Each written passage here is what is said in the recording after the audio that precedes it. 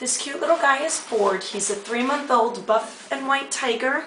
He came in as a stray. He's really cute. He's young. He's sweet. He's looking for a home. His name is Ford. So if you go on our website, you'll see this kitten. Come on in and visit him. He's looking for a new family.